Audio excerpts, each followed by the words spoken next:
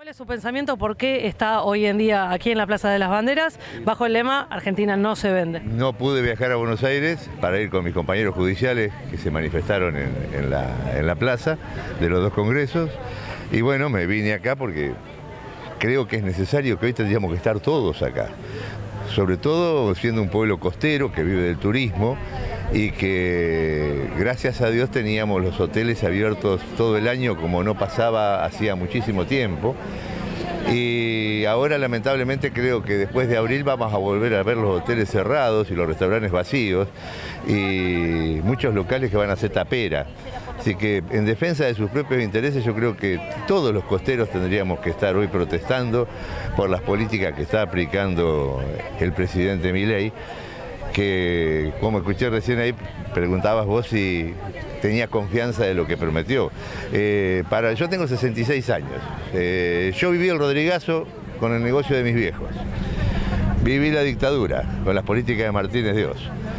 Viví el Menemato. Y después lo viví a Macri. Yo te, y de la Rúa ni hablar.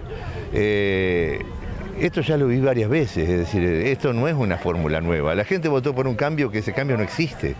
Es decir, esto nunca dio resultado. Pasó también que en este caso muchos jóvenes también eh, decían que, iban a votar a este actual presidente también. Es fácil tener un pueblo ignorante y la ignorancia logra esto. Es decir, eh, yo creo que a cualquiera de los pibes que agarrás hoy en la calle le preguntás que te diga sin repetir y sin soplar, presidente de la democracia del 40, no vayas tan lejos, del 45 a la fecha y no te lo saben decir. Le preguntás quién fue Levingston y te lo saben decir. ¿Quién fue Krieger Bacena? No saben quién fue Krieger Bacena, el ministro de Economía de Onganía en el 66. Le preguntás qué fue la guerra de azules y colorados y no sabe. ¿Qué fue el cordobazo? Y no saben. Entonces, ¿qué fue la noche de los lápices? Y no saben. ¿Qué fue la noche de los bastones largos? Y tampoco lo saben. Porque es nuestra historia reciente. Eh, Lamentablemente, desde las políticas educacionales que aplicó el turco Menem con Bordón a la cabeza, terminaron con una educación nacional, donde el chico que vivía en La Quiaca aprendía lo mismo que el que vivía en, en Ushuaia. Y entonces este, el grado de ignorancia que tenemos en nuestra juventud es extremo y los resultados los tenemos acá.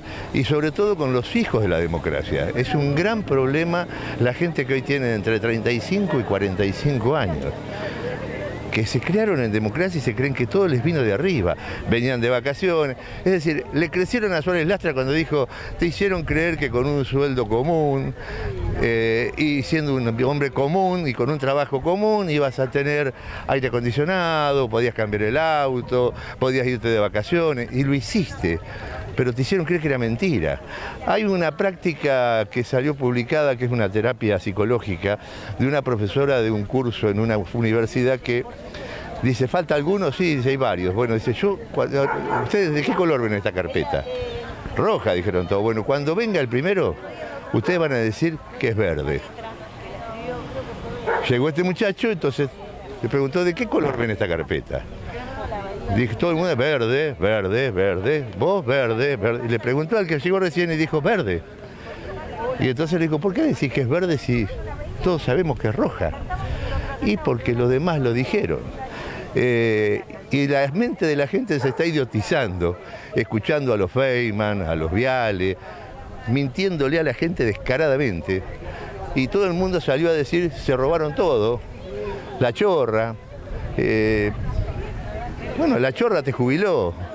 Yo escucho mucha gente que dice, esta chorra, ¿por qué te jubilaste con la chorra? Y este, si te jubilaste en el 2003, el 2023, ahora te sacó la jubilación porque entraste por moratoria y sacó la moratoria y quiere sacar las leyes laborales y quiere borrar el artículo 14 bis de la Constitución de un plomazo. Y espero que los legisladores que votaron la sociedad, porque si bien mi ley ganó en segunda vuelta, en primera vuelta no ganó mi ley. Y en la primera vuelta se eligieron diputados y senadores.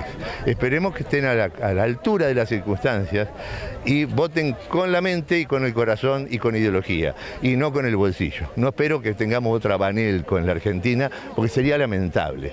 Y lo de hoy fue algo sublime, porque fue una protesta de mucha gente que fue independientemente se autoconvocó, aparte de la convocatoria que hicieron los gremios y la CGT. Y escuché, sinceramente, mensajes de gente que, se te llenaba el ojo de lágrimas.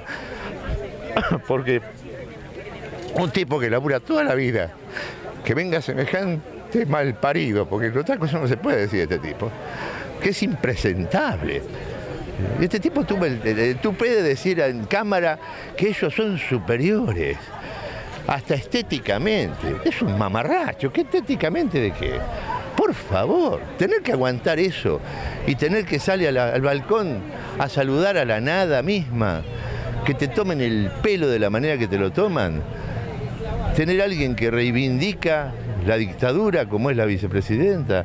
Yo no sé en qué estuvo pensando el pueblo argentino al votar esto, como tampoco sé qué, votaron los costeros, porque acá se votó al peronismo a la municipalidad y al peronismo a nivel provincial. Y a nivel nacional votaron a ley Un tipo que no tiene historia política y se llama anarcocapitalista si vos buscás en la historia del mundo, el anarcocapitalismo no existe. No hay ningún país que tenga ni siquiera un concejal que diga ser anarcocapitalista. Y acá lo votaron de presidente. Eso es lo que yo pienso. Agradecemos muchísimo este testimonio y obviamente cada vez se está juntando más gente aquí y por eso estamos. En Buenos Aires también están todas las organizaciones. ¿Qué esperas para esta noche?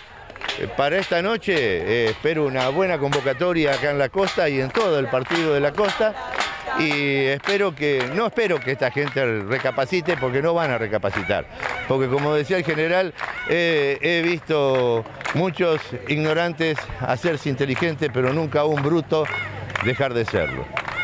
Y este es un bruto.